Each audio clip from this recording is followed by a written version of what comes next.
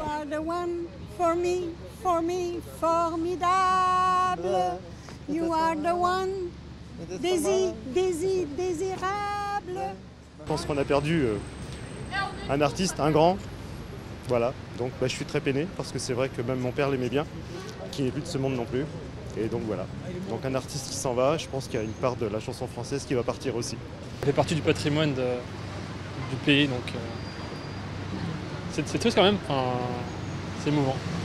J'ai beaucoup aimé Aznavour, vraiment beaucoup aimé Aznavour. C'est un des meilleurs chanteurs actuels d'ailleurs. Enfin, c'était malheureusement. J'espère en tout cas que ce sera l'avenir de la France, d'accepter ces émigrants et accepter le fait que c'est les émigrants qui ont une nouvelle vo- voix. Je me voyais déjà euh, en haut de l'affiche